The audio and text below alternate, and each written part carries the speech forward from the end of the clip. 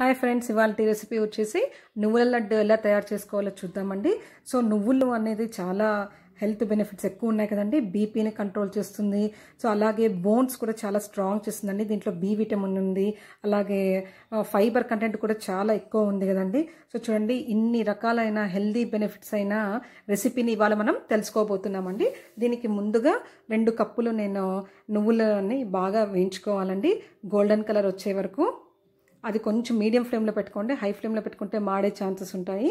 So అది బాగా చల్లగైన తర్వాత సో వాటిని నేను ఇక్కడ ఫైన్ పౌడర్గా చేసుకోండి. ఎలా అంటే మనకి కొంచెం ఆయిల్ రిలీజ్ అయ్యే వరకు మీరు గ్రైండ్ చేసుకున్నారంటే మీకు లడ్డు కట్టేకి ఈజీగా అవుతుందండి.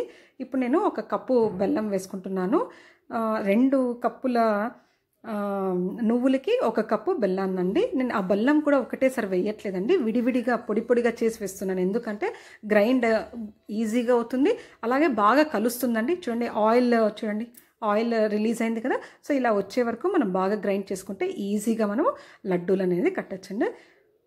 సో ఇలా అంతా విడిపోయినాక మనము ఒక ప్లేట్లోకి ట్రాన్స్ఫర్ చేసుకోవాలండి.